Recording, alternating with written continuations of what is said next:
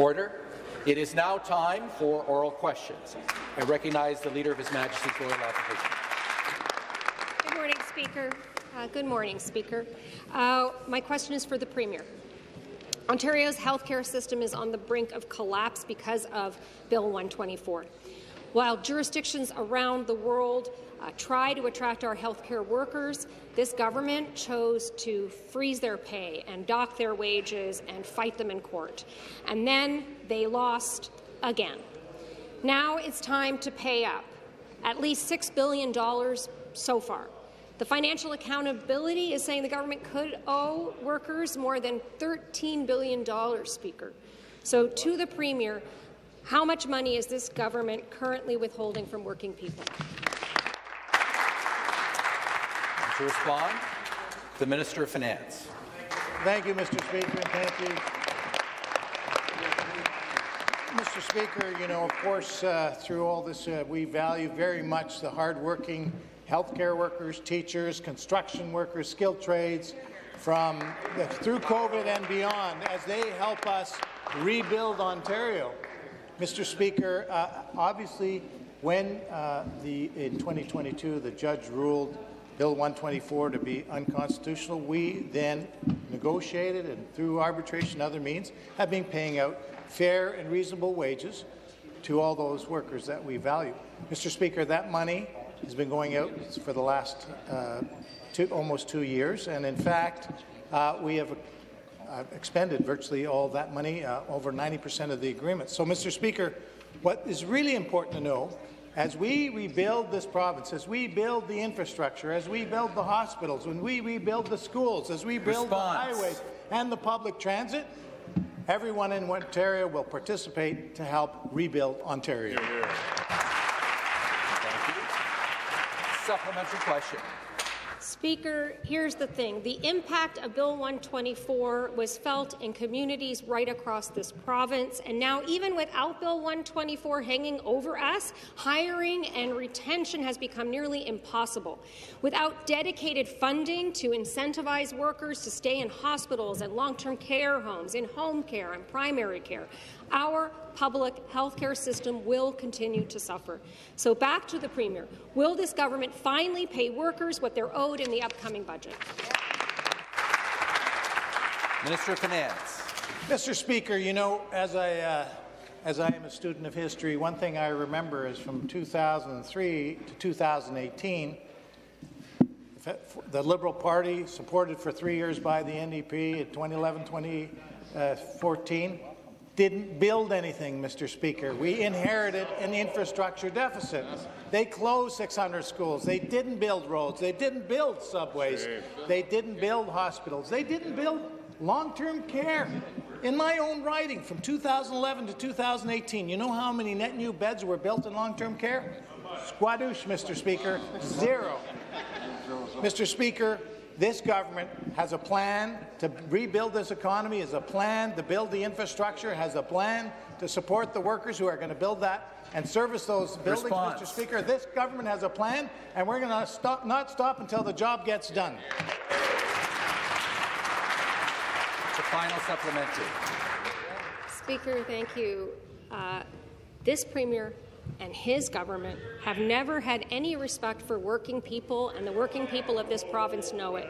They spent years fighting nurses and public sector workers in court to hold down their wages, and now this premier has gone as far as calling the president of the union that represents those public sector workers a liar. The same person who represents healthcare workers and bus drivers, the person who care, the people who care for our kids, who represent healthcare workers, who drive our transit system, the people who staff our long-term care facilities. And this premier called them a liar, and that Speaker, is disgraceful. So, Speaker, back to the Premier. Why does this Premier have such contempt for the hardworking people Question. of Ontario? Members will please take their seats. Minister of Finance. Just the opposite, Mr. Speaker. This government is working with all the workers across Ontario, Mr. Speaker. You know, we had eight trade unions support us in the last election. That number is growing, Mr. Speaker. You know, Mr. Speaker, last week I was out with the Premier and this Minister of Transportation touring in Windsor. In Windsor, the great work and job that they're doing at the Stellantis battery manufacturing plant. This is creating good working jobs, and you know who's doing those jobs? The hardworking people of Windsor. And you know, when we crisscross this province, and often when I'm with the Premier and with my colleagues, you know what? They line up from here to there to meet the Premier and thank him for his leadership to not only supporting all workers, but to support the building of this economy, Mr. Speaker. We inherited a weak economy. We're rebuilding that economy. Great jobs, bigger paychecks, and including all workers in Ontario. Thank you. The next question. Once again, the Leader of the Opposition. Speaker, this Premier and his government, they drive right past the striking workers in Windsor, and they don't stop for a second. That's the truth. Speaker, maybe the Premier will answer this question. Back when his government announced that they were opening the doors to healthcare privatization, the NDP warned that people would be forced to use their credit card to get healthcare. The government said this would never happen, never. But here we are. We're hearing from more and more people who have been charged $70, $90 for a single visit, in some cases several hundred dollars just to get an annual membership at a private clinic. So, to the Premier, do you agree that these patients were not able to use their health card and did, in fact, have to pull out their credit card? To reply, the Deputy Premier and Minister of Health have to assume that the member opposite is referencing some nurse practitioner-led clinics that are charging patients for a membership. As we have said repeatedly, there is a loophole in the, the Federal Canada Health Act that we are actively engaged with the federal government on to close that loophole. It is important for all of us to understand that publicly funded OHIP-covered services as protected from the Canada within the Canada Health Act continue to be offered using your OHIP card, not your credit card. That's what we will fight for on this side of the House. Thank you, Speaker. Supplementary. Speaker, a loophole? A loophole? They opened the floodgates. they always knew this would happen. It was always about making some people wealthy while patients went without care. Speaker, this government is creating a two-tiered healthcare system where you only get care if you can afford it, and that's the truth. It's absolutely unacceptable.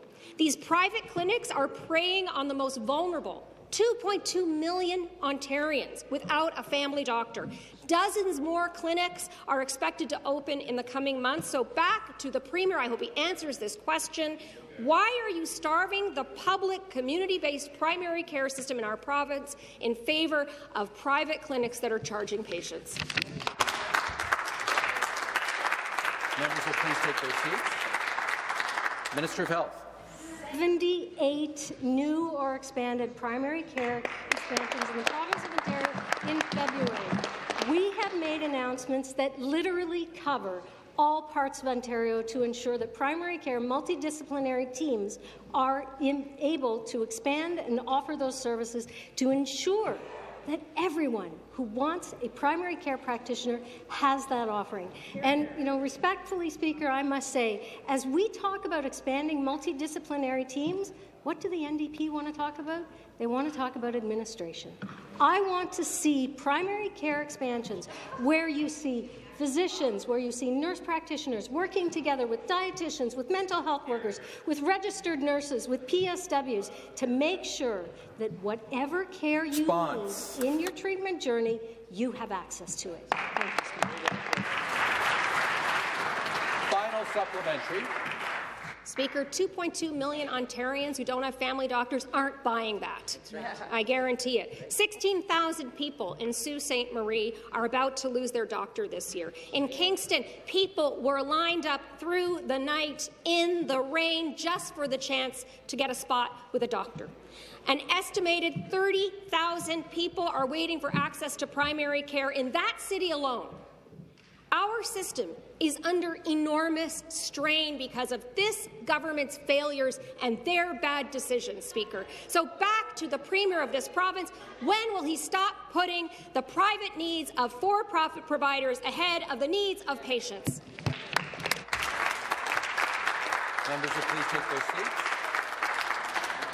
Minister of Health. Perhaps the member opposite wasn't listening when I made the announcement in February and actually had the periwinkle example beside me, where an additional 10,000 people in Kingston are going to be served by multidisciplinary teams. And to quote Dr. Philpott, whether when you need a family doc, you will see a, a family doc. When you need to see a nurse practitioner, you will see a nurse practitioner. When you need to see a mental health worker, you will see a mental health worker primary care multidisciplinary teams are where we need to be to ensure the people of Ontario get access to the care they need. And 78 new and expanded opportunities came forward when we made those announcements in February. And you go to the Davenport organization that is receiving an expansion and tell them that you do not support Response. multidisciplinary teams. Again, I'll remind the members to make their comments through the chair. The, the, sorry, the next question. Leader of the Opposition. We on this side are not going to take lessons from a government that is failing Ontarians to such a degree. 2.2 million Ontarians without a family Order. doctor, Speaker, under this government.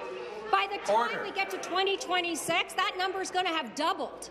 A quarter of Ontarians won't have access to primary care at this rate. We have to go faster. Order. We need to act quickly.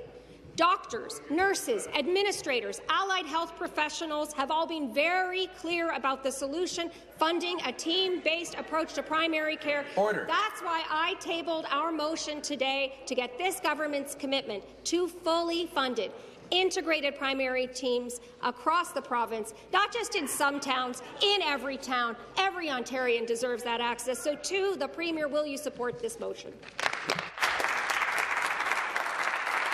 Minister of Health. You know, the NDP's motion is a stark reminder of what they want to focus on. They want to focus on administration expansion. We want to focus on multidisciplinary teams. And to suggest that the health system had been adequately looked after under an NDP government, which cut by 10% the number of medical positions that were available in the province of Ontario.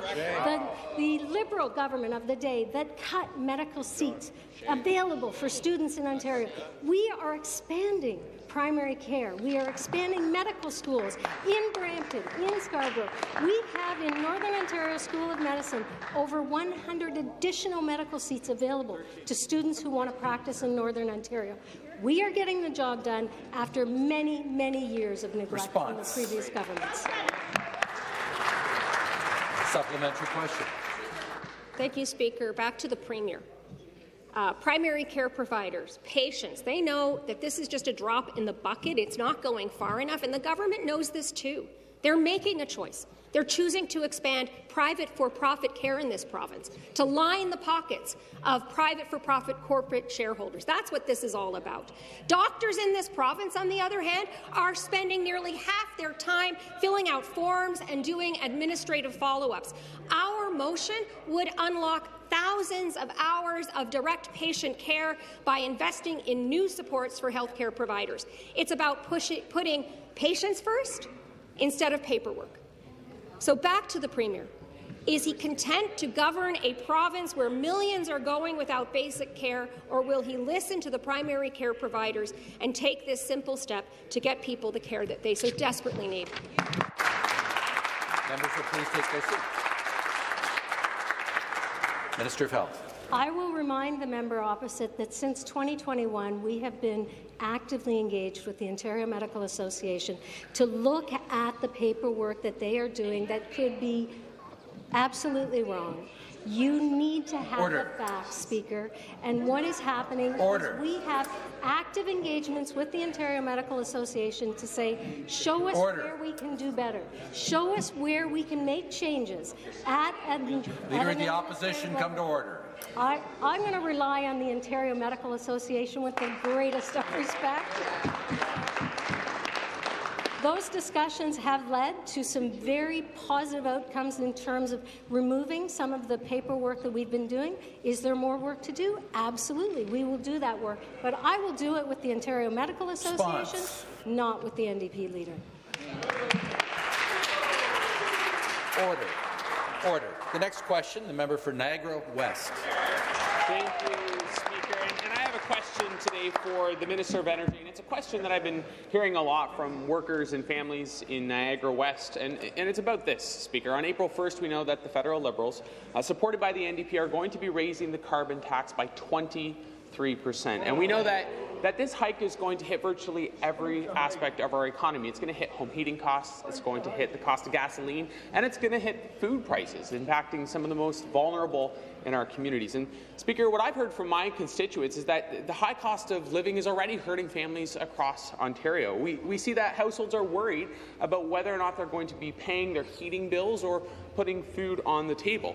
And yet we see a federal carbon tax under the Trudeau Liberals that is going up and up and up and up, and it doesn't seem to end. So my question, on behalf of my constituents, to the Minister of Energy is, is why is it important question. that our government continue to take action to fight this job-killing expensive tax? And to reply, the Minister of Energy. Thank you very much, Mr. Speaker. Thanks to the great member from Niagara for that question this morning. The carbon tax is having a huge impact on families, at the gas tank, at the grocery counter, um, on inflation that's affecting everything, Mr. Speaker. And as the member rightly points out, two weeks from today, on Easter Monday, on April Fool's Day, the federal government is going to be increasing the carbon tax again by a whopping 23 percent, Mr. Wow. Speaker.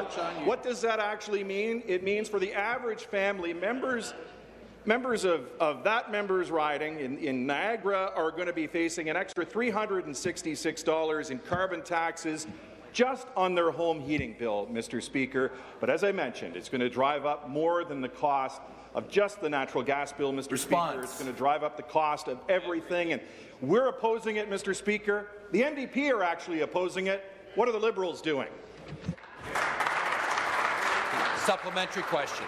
Well, thank you. And my thanks to the minister. I'm going to be sharing his response with my constituents because I've been hearing from those workers and those families who've expressed great concern with that massive spike that we're going to be seeing in the carbon tax on April 1st. And I know that they're reassured to see that this is a government under the leadership of Premier Ford that is taking the federal government to task when it comes to increasing costs on hardworking families. And I know most members in this legislature oppose that job-killing tax, but uh, unfortunately it appears that not all members of the legislature do. We see that Bonnie Crombie and the Liberals continue to crusade in favour of a job-killing carbon tax. They, they want to saddle families with more money-grubbing policies every opportunity they get. And so I think it's important that all of us continue to stand against this. And I'm wondering if the minister could speak more about what our government is doing to ensure that we have affordability and more money in the pockets of the hardworking families in my riding. Question. If he could explain what actions we're taking to fight the Justin Trudeau Liberals on this job-killing carbon tax and stand up for the families in my riding and across Ontario. The Minister of Energy. Speaker, we're cutting the gas tax. We've cut the tolls. We've kept electricity costs flat. We've introduced one fare in uh, transport, uh, transit across uh, the GTHA, Mr. Speaker. Um, but, but as Toronto Star intrepid reporter Robert Benzie broke at 10.01 a.m. this morning on X, the queen of the carbon tax, Bonnie Crombie, has said that she won't impose a new provincial carbon tax, Mr. Speaker. But what she didn't do, Mr. Speaker, is say that she's opposed to the federal carbon tax, Mr. Speaker, the one that's actually going to rise in two weeks from today, Mr. Speaker, by a whopping 23 percent. I see the Liberal caucus is huddled here right now trying to figure out what they're going to do. Are they going to join us? Order. Are they going to join the NDP? Response. Or are they going to sit with the Green Party and their federal cousins and continue with the... Stop the clock.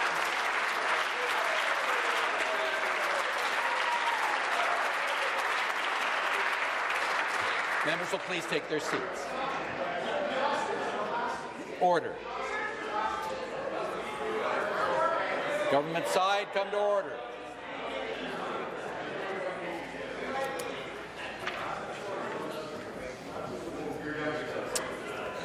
We'll start the clock. The next question, the member for Niagara Falls. My question is to the Premier. We learned recently that pharmacists and workers at Shoppers Drug Mart are under intense corporate pressure to perform medication reviews to increase their corporation's profits. In one week, Ontario shoppers that is owned by Galen Weston Loblaws Corporation made $1.4 million on reviews. One pharmacy has seen 300% increase in reviews. Several pharmacists have serious ethical concerns about these corporation targets. Speaker, when will the Premier do more than just talk tough, step in, ensure patient care and transparency is a priority over his corporate buddies' profits? Thank you. Minister of Health. Your Speaker, as you know, as soon as the uh, issue was raised by a number of pharmacists, the ministry, I asked the ministry to do a review, and of course now the Ontario Pharmacy Association is doing open houses and receiving feedback from pharmacists across Ontario. But I also want to remind the member opposite that we have over 5,000 pharmacies across Ontario, more independents actually than uh, brand franchises, and they have been an incredible partner to ensure not only vaccine rollout and access in all communities across Ontario, but also ensuring with expansion of scope of practice for pharmacists, minor ailments.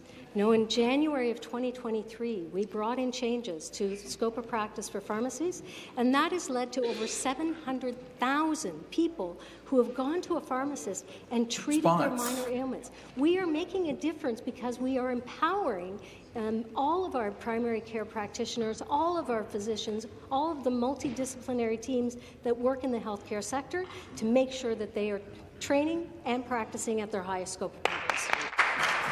And the supplementary question. Back to the Premier. Speaker, this is not the first time we have seen this government put corporation profits before public good. We've seen it at Ontario Place, Staples, Service Ontario, and obviously with the Greenbelt scandal. Now we are seeing the effects of the Conservative government and their corporate friends' profiteering scheme in our healthcare system. We know more corporation profits in healthcare means what?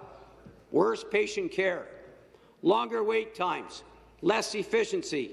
Speaker, when will the Premier say enough is enough? Stop the transfer of taxpayer dollars to private corporations like his friends at Shoppers and stand up for a publicly funded, publicly delivered, not-for-profit healthcare system that we all need and deserve in the province of Ontario.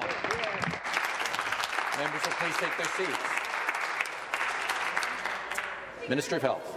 Member opposite is suggesting that we should be taking over every single pharmacy in the province of Ontario. These are business owners who are working in the healthcare field that are providing exceptional service for the people of Ontario. 800,000 people who have accessed service in their community pharmacy since January of 2023. And the member opposite is what? Suggesting that the government should be taking over pharmacies? Come on, can we start actually thinking about how convenience and care and access to care is an important piece of our healthcare system? Thank Order. you. Order. The next question, the member for Carleton. Thank you, Mr. Speaker. Mr. Speaker, my question is for the Minister of Agriculture, Food and Rural Affairs. Animals and animal-related agriculture are crucial to the economic stability of Ontario's rural and remote communities. However, service gaps in rural, remote and northern communities are putting farmers and their operations at a disadvantage. They create risks to farmers and their livestock, as well as jeopardizing the security of food supply chain. Our government must continue to support Ontario's livestock farmers by increasing access to veterinary care and ensuring that support is available where it is needed. Speaker, can the minister please tell this House how our government is expanding access to veterinarian services? Thank you. To reply, the Minister of Agriculture, Food and Rural Affairs. Thank you very much, Speaker, and uh, thank you to the member opposite. She represents Carleton so well, and I've seen firsthand how well she connects with her farming communities, and I thank her for that. And we're connecting with our, our pet owners and farming communities as well at the ministry, and by introducing Enhancing Professional Care for Animals Act, we're moving forward with five key deliverables. First and foremost, we're formalizing the scope of practice for vet techs, veterinary technicians, so that they can assist their veterinarians with the, the services that are being asked for in their clinics. We're also allowing the Regulatory College to set requirements for continuing education that will be similar to other regulated professionals. In addition to that, we're streamlining the complaints process resolution so that people who have issues with, with vets will have their voice heard, but more importantly, if necessary, the vets will be cleared quickly. Response. We're going to increase penalties for bad actors. We're going to in- ensure there's greater public transparency and representation on the council. But most importantly, this legislation is reflecting what we've heard from over 300 stakeholders contributing. Thank you so much. Thank you. And the supplementary question. Mr. Speaker, and through you, thank you to the Minister for the response. It's great to hear how our government is introducing measures that will improve access to veterinary services. Many regions across the province are experiencing a shortage of veterinarians who care for livestock, and this shortage puts a strain on the entire agricultural system. That is why it is essential our government implements measures to recruit and retain people in the veterinary profession. We must continue to support our farmers and maintain a healthy, safe and sustainable agri-food system.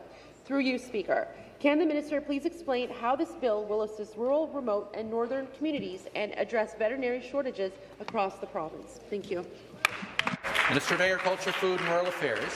I'm really proud of the work that we've done, and uh, I appreciate the support from key stakeholders like the Ontario Veterinary Medical Association, the College of Veterinarians, and the On Ontario Vet Tech Association. You know, when we were at their convention uh, just a couple of weeks ago in Hamilton, 1,200 vet techs were there, and the magnitude of what we're working to achieve through this legislation was humbling. When I saw tears when we talked about the importance of broadening so the scope of practice for vet techs. So we're finally recognizing their, their expertise and their training they've received. They've been asking for this for years, Speaker, and it's our government, through the leadership of Premier Ford, that's actually getting it done. In addition to that, we're working with the Minister of Colleges and Universities to expand veterinary seats, and this is something that has been badly needed. And in addition to that, Response? I'm very pleased to say in, re in, response to the need for large animal veterinarians, we've introduced an incentive program that will encourage recently, gra recently graduated veterinarians to work in remote and northern communities where it's needed. Thank you. The next question, the member for Sudbury. Speaker, Speaker, the Conservative government likes to pretend hallway medicine is a thing of the past, but it continues to happen right now on their watch. And in Sudbury, it's even getting worse. Health Sciences North was designed for 412 patients. Last month, they set a record high with 621. This means even more patients that are staying in hallways. And one of the reasons that admittances are so high is that without access to primary care, many people are left to seek care in crowded emergency rooms. And it is vital, vital that we clear the backlog by increasing access to family doctors because this will reduce the need for emergency visits. My question, Speaker, will the Conservative government support the NDP motion to fix primary care shortage and put patients first? Minister of Health. Well, my question is why have the NDP members been consistently voting against capital expansions of why? hospitals why? in the province of Ontario, expansions of primary care in the province of Ontario? Every single time we bring forward initiatives and, and investments that are going to improve access in your community, you vote against them. It, it, is, it is beyond belief, frankly, that the NDP motion that is calling for more administration isn't saying we support and, and uh, agree with a tripling of the primary care expansion from our original announcement when we made it in Your Health, you know, to suggest that 78 primary care expansions of multidisciplinary teams is not going to make a difference in the province of Ontario is frankly Response individuals living in an alternative reality. and again, I'll remind the members to make their comments through the chair. Supplementary question, back to the member for Sudbury. Thank you very much, Speaker. I am talking about Sudbury, Ontario. At Health Sciences North, we have some of the worst overcrowding and hospital occupancy rates in Ontario. Joyce is a senior from Sudbury, and while trying to recover from a near-fatal scare, she's put in a shower room for her stay. And this is not uncommon in my city.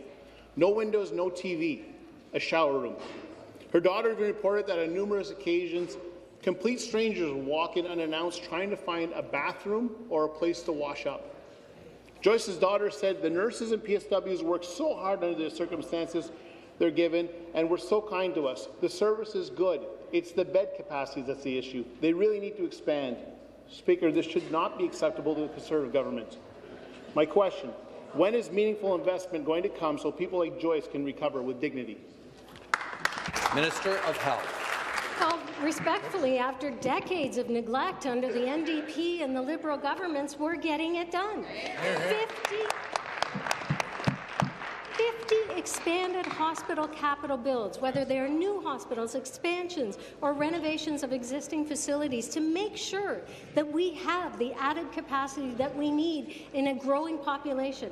And Speaker, why can we do that? Why can we continue to invest in health and continue to expand the, the healthcare budget? Because we have an economy where people want to live and grow their business in the province of Ontario. When you have those opportunities, you see expansions that can happen under Premier Ford's government. We are making those investments, 50 capital expansions in the province of Ontario. There is more work to be done, and it cannot Response. be solved overnight after decades of neglect, but we're getting the job done. The next question, the member for Orléans. Well, good morning, Mr. Uh, Speaker. My question is for the Premier. Uh, Mr. Speaker, the Premier often speaks about how important seniors are, calling them the backbone of our province, and, and I agree. But once again, his words are writing checks the actions of his government simply can't cash. Facing fee increases of up to $1,000 a month, dozens, if not hundreds, of seniors living at the Promenade Retirement Home in Orleans are facing eviction or are being pressured to move. Shady, shady business practices and poor consumer protection lack of government regulation on fee increases, Order. removal of rent control on new buildings have all led to a toxic environment, undue anxiety, stress and fear for these seniors losing their homes. Mr. Speaker, how can the Premier call seniors the backbone of our province when his government fails to offer even the most basic protections to help them age gracefully? The Minister of Seniors and Accessibility. Thank you for the question. You know, seniors have worked their whole lives to have a comfortable retirement home, age well in their community. Our government has stepped, stepped in to, pro pro to provide relief, but the opposition stands against it. We create the Seniors Care at Home tax credit to help seniors pay for home care. They voted against it. We invest $1 billion to home and community care and uh, serves to fund 500 local organizations providing care for seniors. They voted against it. The opposition should answer their constituents on why they are voting against all this support for seniors. Thank you. And a supplementary question. Well, thank you, Mr. Speaker. I agree. Seniors have worked their entire lives to stay in their homes and stay in the community where they raise their families. And these families, these seniors in Orleans are being kicked out of their home, away from their families, away from the community where they, they raise their families and are trying to grow old.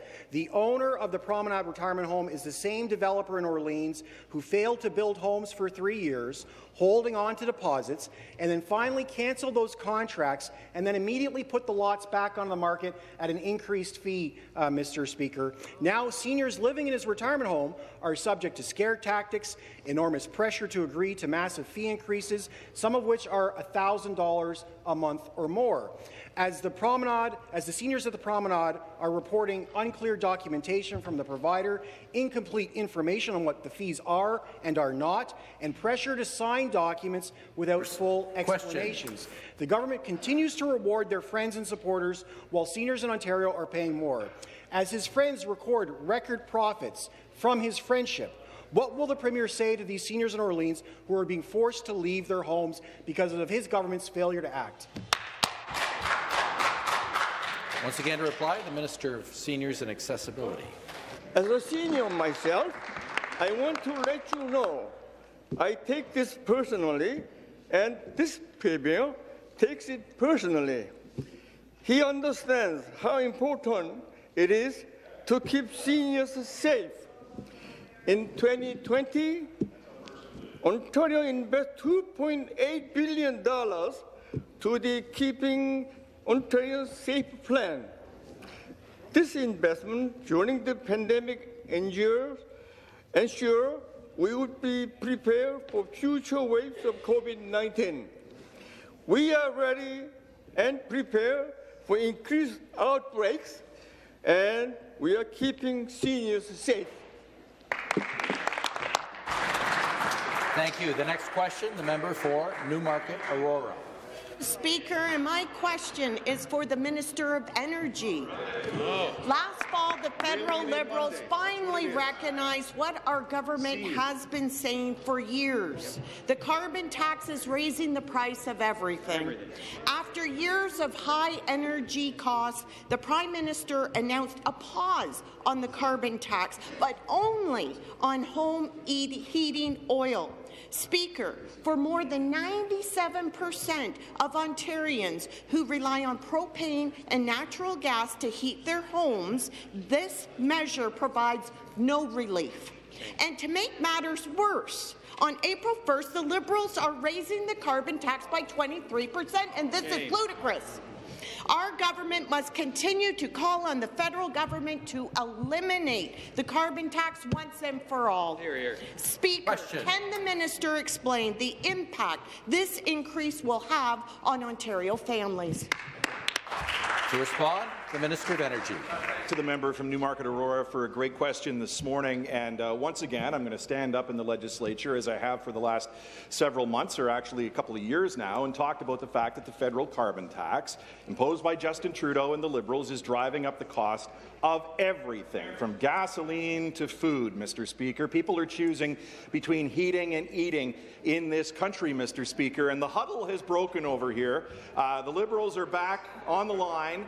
Uh, we still don't know exactly how they feel about the queen of the carbon tax, Bonnie Crombie's position today. She revealed it about 45 minutes ago that she won't be imposing a provincial carbon tax, Mr. Speaker. But our question for the Ontario Liberal caucus, because we know we've had members of that caucus stand up and say that people in Ontario and people in Canada are better off Response. with the federal carbon tax than they would be without it. What will they say today to Justin Trudeau and the federal Liberals? Will they join us in asking for them to scrap that tax? Supplementary. Speaker, it's clear that the Liberals and the NDP are out of touch yeah. when it comes to understanding the hardships that people of Ontario are facing because of the carbon tax. The carbon tax is increasing the cost of everything from home heating or groceries to everyday essentials. Unlike the opposition NDP and the independent Liberals, our government, led by Premier Ford, is focused on making life more affordable. We have been speaking against this regressive tax from day one, and we will continue to advocate for the people of Ontario. It's time for the federal government to reconsider their approach and act in the best interests of Canadians by eliminating the carbon tax. Speaker, can the minister please explain how our government is trying to stop Question. this terrible federal carbon tax? Hear, hear. Minister of Energy. Here, as the member rightly pointed out, uh, the federal carbon tax is expected to rise another 23 percent in two weeks from today, Easter Monday, April Fool's Day, carbon tax day, if you're a federal liberal. And as the Premier as Premier Ford said a couple of weeks ago when he was asked about the federal carbon tax, he said, if the federal government doesn't drop this tax now, they're going to get annihilated in the next election. Well, guess who woke up? the queen of the carbon tax, Bonnie Crombie. She woke up and this morning at 10.01 a.m. on Robert Benzie's Twitter feed, he reported that Bonnie Crombie has said she will not be imposing a provincial carbon tax, but she has fallen short. She has fallen short. Will she stand with us? Will these Liberals that are here, the nine of them that are here, Mr. Speaker, will they stand with us and will they stand with our friends in the NDP who are calling Response. for an end to the federal carbon tax? You all should stand up and join us this morning as we call for Justin Trudeau and the federal Liberals to scrap the tax.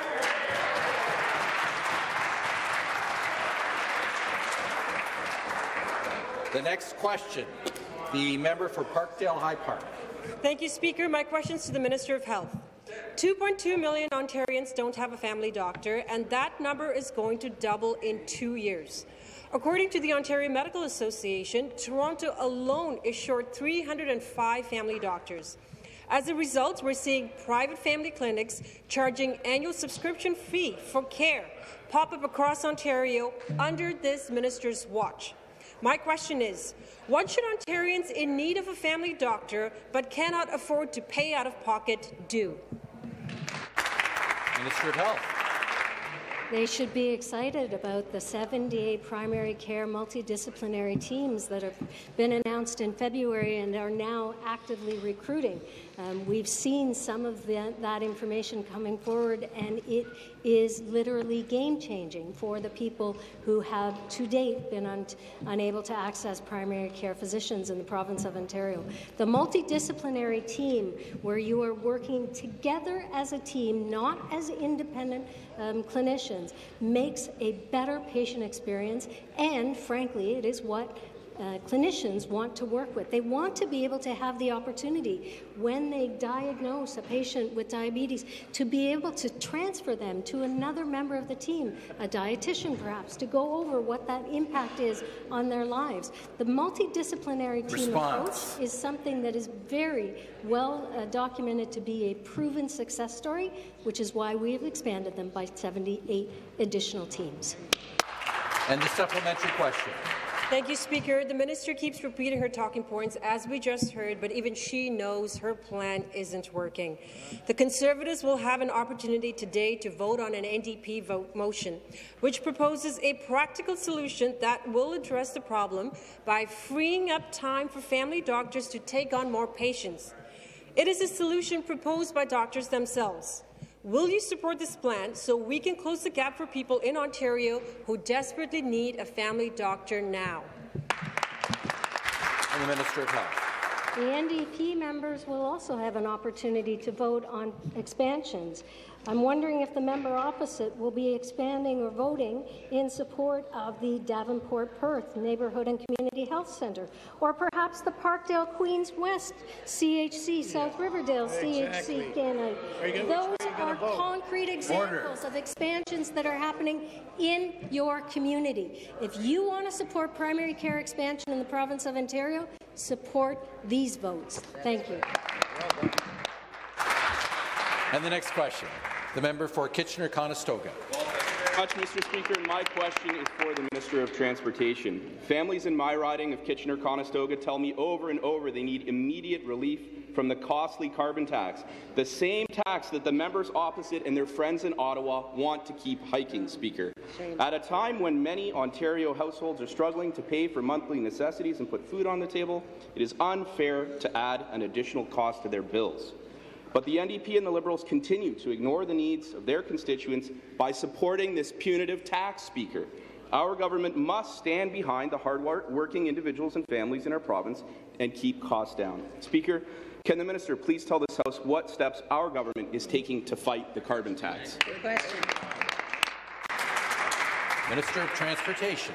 Thank you very much, Mr. Speaker. And the member for Kitchener-Conestoga is absolutely right. It's a shame that the NDP and Liberals are supporting the federal carbon tax, which is about to go up by 23 percent, Mr. Speaker. I was proud to stand with a member from Kitchener-Conestoga when we announced the expansion and getting shovels in the ground on Highway 7. It's unfortunate, though, that not only do the federal Liberals want to spike the carbon tax by 23 percent, they said they don't believe in building roads and bridges across this, across this country, Mr. Speaker.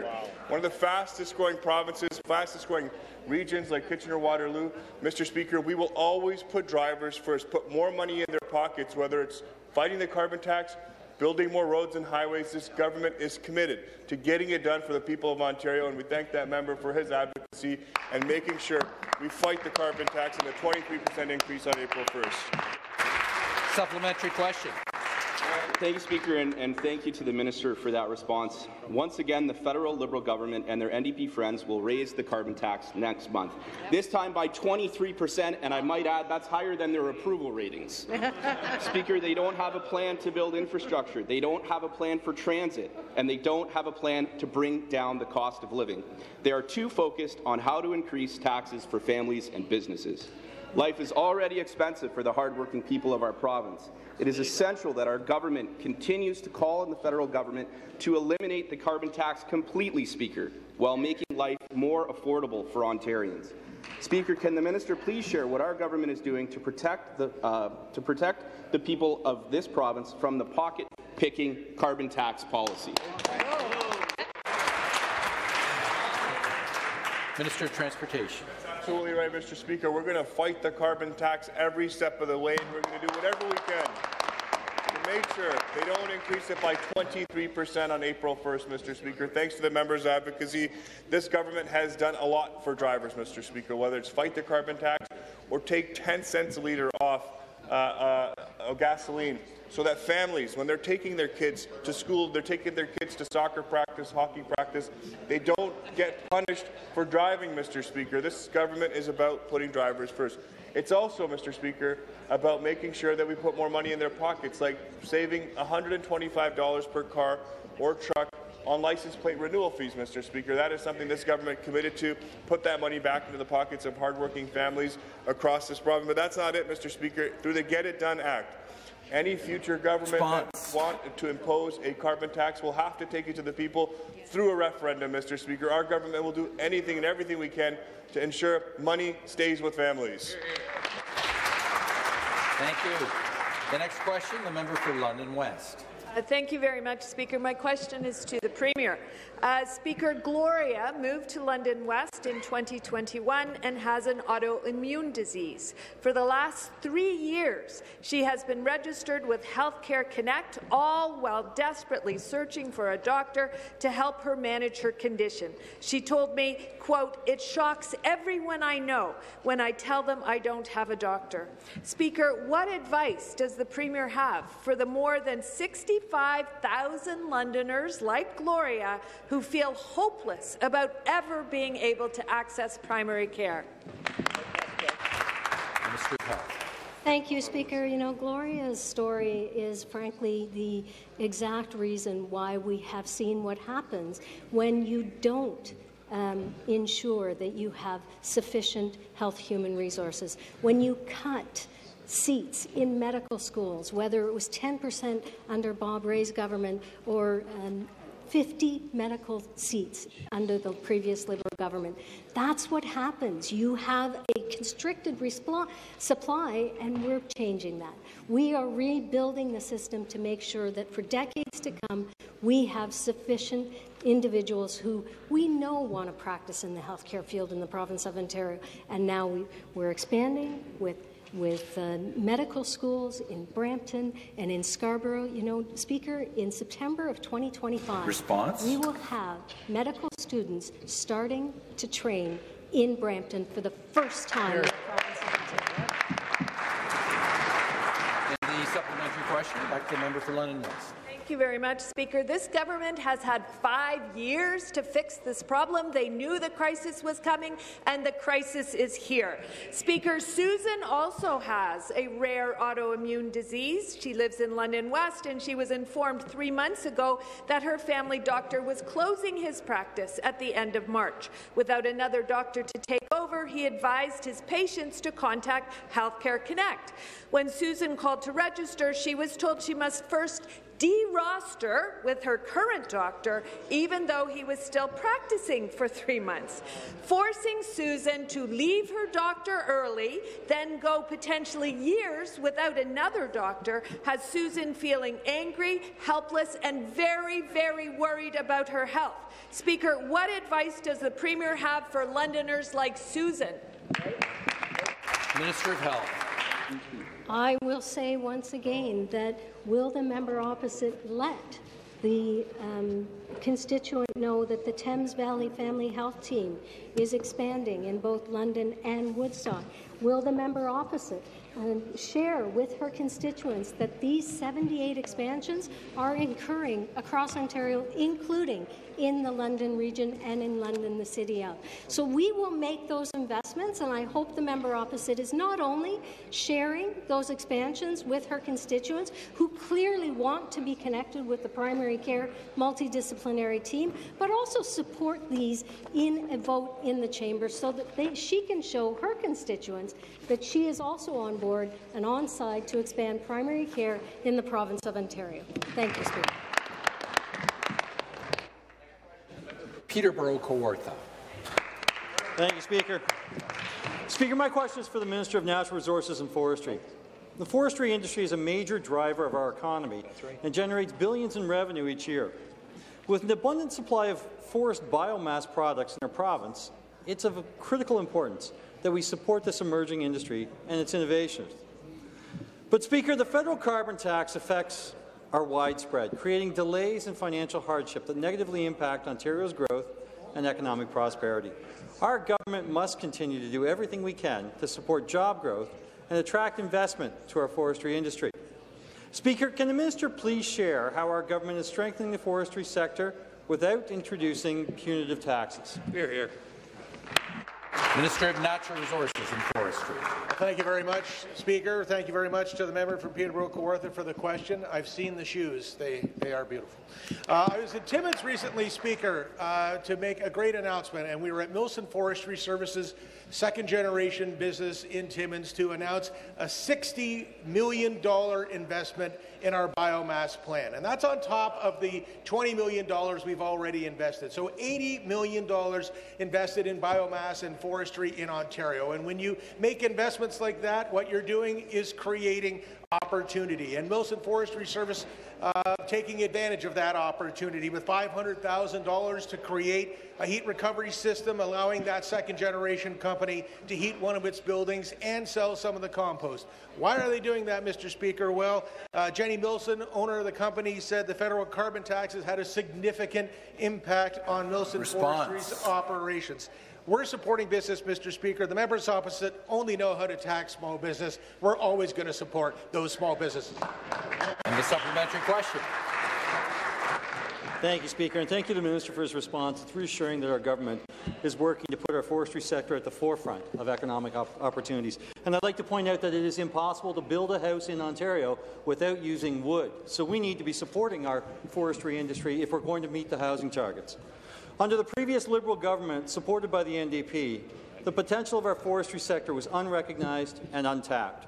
What's worse, the federal Liberals are now punishing the forestry businesses with an unfair and unnecessary tax. Companies in Ontario, especially those in rural, remote and northern communities, are already struggling every day to stay competitive and due to many fiscal pressures. In this time of economic and affordability uncertainty, let's not tax Ontarians more. Speaker, can the minister please share how our government is protecting forestry businesses from the negative impacts of the federal carbon tax? Minister of Natural Resources and Forestry. Well, thank you, Speaker. Uh, you know, for 15 years, the the Liberal government showed that they can't be trusted to support business in Ontario. And for the lifetime of this government, we've shown that we support business in Ontario every single day. And that carbon tax, that terrible carbon tax, is working against renewable resource projects and getting them off the ground. It's punishing the forestry business. Our government knows better. We're going to continue to make those smart investments to help job creators, help workers, help grow our economy, and bring prosperity to the province of Ontario. And I'll just go back to Milson Forestry Services for a second. Again, a, a great second-generation family business supporting our forestry sector. This uh, investment that will support their business while reducing forest byproducts. Meanwhile, that liberal carbon tax just taking money out of their pockets. They said it's making it harder to do business. Oh. You know, when it comes to the carbon business. tax, Mr. Response. Speaker, it's the same old song. The Liberals tax your wallet till the money, it's all gone. Question, the member for Hamilton West Ancaster Dundas. Thank you very much. Uh, my question this morning is for the Premier. Hamilton has a shortage of 114 doctors, which is one of the highest shortages in the province. Currently, 60,000 people don't have a family doctor in Hamilton. In two years, that number, shockingly, is expected to double. Right now, family doctors spend 40 percent of their time doing paperwork and administrative tasks instead of caring for and seeing their patients. This afternoon, we will be debating our Opposition Day motion that will propose clear solutions to this burden on our healthcare system. My question, will you support our Opposition Day motion, or will you continue to force doctors to spend their time on unnecessary paperwork instead of treating patients? Premier. Well, I'll, I'll, I'll tell the NDP uh, solutions is not supporting residencies, propped up by the Liberals, you cut 50 seats. What we're doing, we're adding 260 undergraduate seats, 449 postgraduate seats. I just want to ask the member, why did you vote on hiring 10,500 doctors that we've attracted. We created that condition. We created the conditions to attract 80,000, 80,000 nurses you voted against it. You voted against the expansion of the hospitals, including the money that we gave McMaster in your own area. You voted against it. So how can you stand up and say you have a plan? Your plan is to cut nurses that you did with conjunction with the NDP. You fired 160 nurses under your leadership and their leadership. We've registered 80,000 new nurses. That's the difference between your plan and our plan. Our plan is. I remind the members to please make their comments through the chair. Supplementary question. Thank you, Speaker. I just would like to remind the Premier that I will always stand up for the people of Hamilton West, Ancaster, Dundas. And I don't Order. a lesson from the Premier. Order.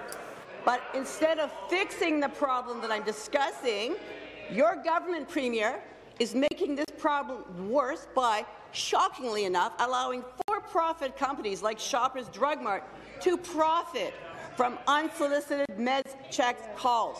Imagine for-profit healthcare. Shoppers make $75 for a phone call, while our doctors are forced to sign off. Our doctors have to sign Order. off without compensation. So this is insulting to our already burned out, overworked group of family doctors in Ontario not to mention Hamilton. So my question to the Premier, why are you forcing family doctors to do paperwork for mega corporations question. like Shoppers Drug Mart instead of treating and seeing their patients? I'll ask the members to make their comments through the chair. To reply, Minister of Health. Thank you, Speaker. You know, I, have looked at the uh, opt-out day motion for the NDP, and I have to say um, it concerns me that they are suggesting that the Ontario Medical Association is not the appropriate place to make sure that we work collaboratively with them on paperwork and ensuring that they are in front of patients. You know, when I see the expansions that are happening in Hamilton and across your region, um, what are you telling your constituents when I see that the Greater Hamilton Health Network and Primary Care Stakeholder Council has a new primary care multidisciplinary team as a result of February's announcement. Mm-hmm. Those are on-the-ground impacts that will make a difference in your community and communities across Ontario. We need to ensure that everyone who wants a primary care physician has the opportunity to do that. And the only way we can do that is through expansion of medical seats, expansion of all. Thank you. Thank you. The next question, the member for Thunder Bay, Atikokan. Thank you, Speaker. My question is for the Associate Minister of Transportation. At a time of high costs and high interest rates, it's never been more important to implement measures that make life more affordable for Ontarians. But, Speaker, the federal carbon tax continues to punish the hardworking people of this province. I've heard from families and farmers in the two ridings of Thunder Bay about how much this unnecessary tax is costing them daily. They are looking to our government for solutions that will make life easier and keep costs down. That's why we must continue to call on the federal Liberals to cut the carbon tax and provide real financial relief for Ontarians. Speaker, can the Associate Minister highlight what this government is doing to make life more affordable for Ontario families? Associate Minister of Transportation. And thank you to the member from Thunder Bay, Atikokan, for his continued support in working hard to save people of Ontario's money. Thank you, member. Speaker, everyone knows that the federal government is failing us with the continued increase in carbon tax. Since 2018, under the leadership of Premier Ford, our government has worked hard to end these irrelevant fees that are costing individuals and their families, Mr. Speaker. Farmers, rural communities are suffering. The cost of food, energy, transportation continue to rise, Mr. Speaker, with gas gas price going up 17 cents per litre. Mr. Speaker, under this government, under this premier, we are working hard to cut carbon tax and make life and transit more affordable by eliminating tolls on 412, 418, eliminating license sticker fees, and eliminating double fare, Mr. Speaker. Thank you. Supplementary question, member for Thunder Bay Atikokan. Thank you, Speaker, and thank you to the Associate Minister for his response. It's great to know that our government is taking action to help reduce the impact of the carbon tax. Speaker, Ontarians need financial relief now more than ever. This punitive tax is making fuel and groceries more expensive, forcing Ontario families to stretch their household budgets. At a time when many people in this province are already struggling with inflation, they should not have to pay more taxes. Unlike the opposition, our government will continue to advocate for Ontarians. That's why we stand against the NDP and Liberals' support of the carbon tax. Speaker, can the Associate Minister highlight the negative effects the carbon tax has on rural and northern communities? The Associate Minister of Transportation can reply. Thank you to that member for that question. Rural Ontario is home to 2.5 million people, and the federal government have immensely let these communities down. Propane bills are doubling, which only heightens the importance of getting natural gas to these rural and developing communities. This carbon tax is hiking these bills, Mr. Speaker, and making it harder for communities in the north to save money. Speaker, we are calling on the federal government to acknowledge the pain this is causing the countless people in Ontario and act on it, Mr. Speaker. It is time to wake up, smell the coffee, and cut this carbon tax. Thank you. That concludes our question period for this morning. Pursuant to Standing Order 36A, the member for Orleans has given notice of dissatisfaction with the answer to their question given by the Minister for Seniors and Accessibility regarding retirement home fee increases, and this matter will be debated tomorrow following private members' public business. Next, we have a deferred vote on private members' notice of motion number 81. Calling the members, this is a five-minute bell.